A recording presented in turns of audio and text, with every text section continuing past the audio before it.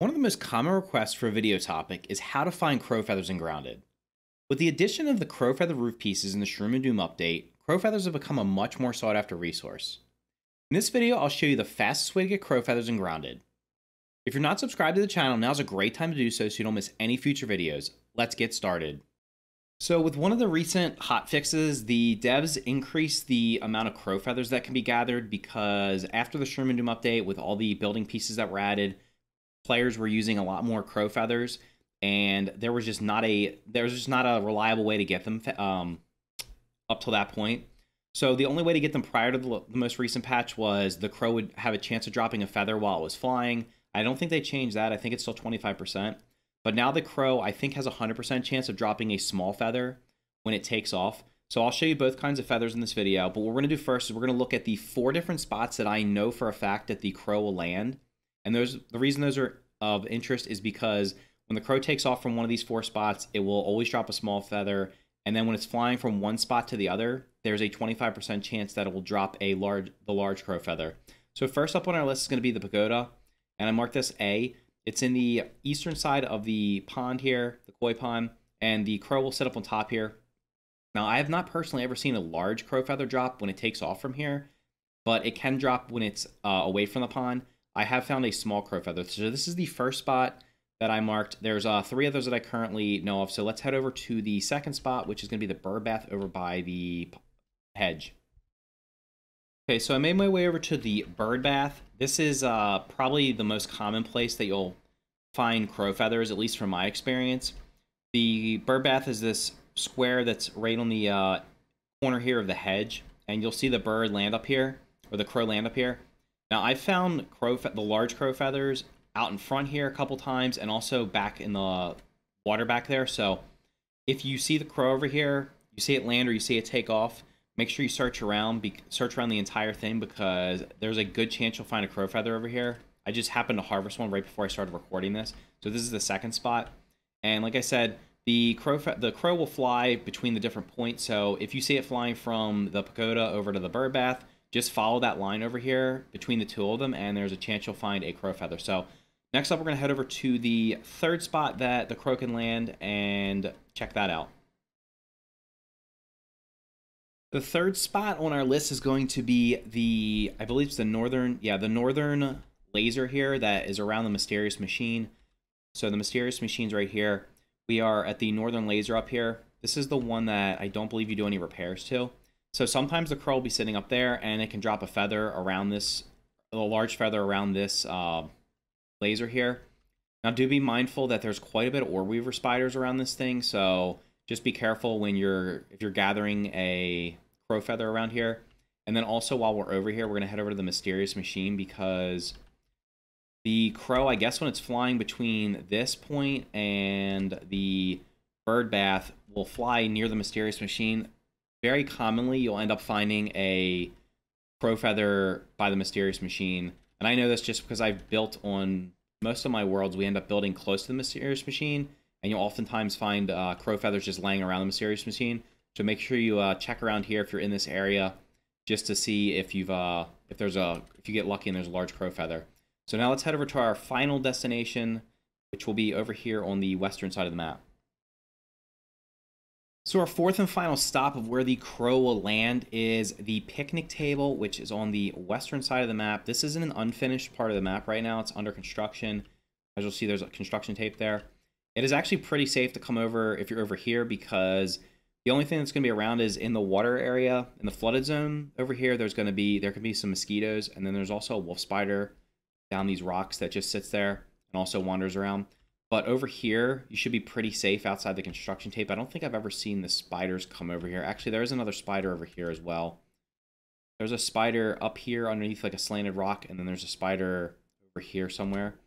I don't know if I've ever seen them over here underneath the tape. They might wander over there now that the their pathing has been changed. But anyway, the crow can land up on the picnic table, and it can, has a chance. It'll it has a chance of dropping a large crow feather. So those are the four spots. Just to recap, we got the picnic table, which was where we just were. The first place we went was the pagoda in the eastern part of the koi pond. The second place was the bird bath, which is over in the hedge.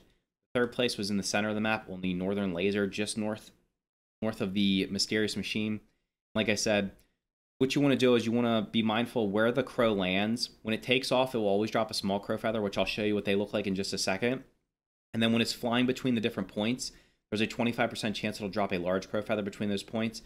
And also be mindful that I quite frequently find crow feathers in the around the mysterious machine and then also by the bird bath. Those are the two places that I seem to find them most often. It's probably just because they're they're like landmarks.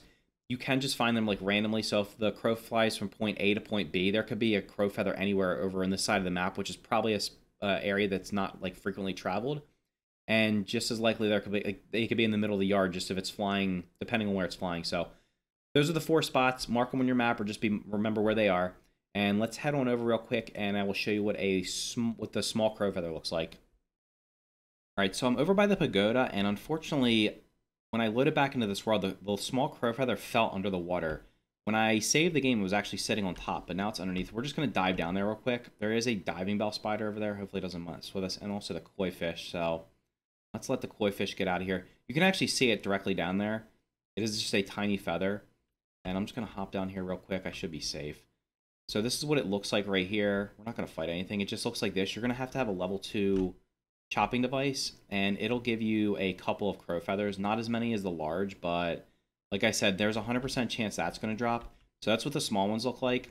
Now, if I would have chopped it up before I saved and exited out and came back in, it was sitting on top of the water. So hopefully when you see them, that'll be the case. And also note that when I came over here, it was like floating down like very gently, and then it just landed in the water. So just watch wherever the bird, the crow takes off from, and then just scout the area around it. If you don't actually see the little feather fall, and you, you should be able to find it. So let's go. I'm gonna go scout out and see if I can find a large crow feather, just so you can see what they look like in case you're unaware.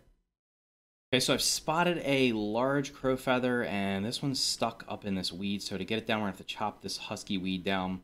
Now, like I said, you're gonna need a tier two chopping tool in order to harvest this thing anyway. So we're just gonna cut this down. And this one just happens to be between the bird bath and the or was it? It was between the bird bath path and the picnic table. Of course, it got stuck in the huskiest of husky weeds here. All right, so there it goes. It's gonna fall. So these, like I said, have a 25% chance of falling, and when you chop it up, you should get usually around five or six crow feathers. Just chop it up. We got one, two, three, four, five. Drop a bunch of stuff there, so. So that was the large crow feather, and like I said, what you're going to want to do is you're going to want to make sure you follow. If you're if you need if you need crow feathers, just look for the crow, see where it's going from point A to point B, or from whatever point it's going from to whatever point it's going to. And you should be able to easily find crow feathers pretty fast so you can build yourself um, whatever you want out of crow feathers because honestly the crow feather pieces are in my opinion the best looking.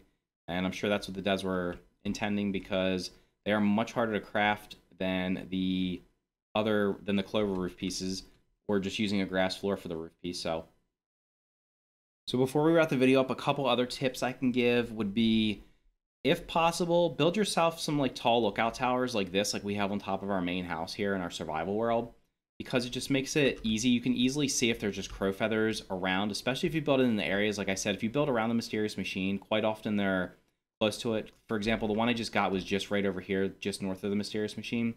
And then also, if you make yourself a zip line, just zip on down here while we're going. With the zip line, if you make zip lines across, especially if you cross the paths where the crow can fly, you'll oftentimes find crow feathers like in the middle of the yard that you would probably otherwise not see just because they're just buried inside the, the tall grass here. So those are a couple of other tips. And you're going to want to definitely make sure you, anytime you see a large crow feather, try to harvest it. And if you just happen to be in the area where the crow is taking off from, make sure you just wander around where it's taking off from and you should be able to get yourself a small crow feather and get a couple of uh, crow feather pieces.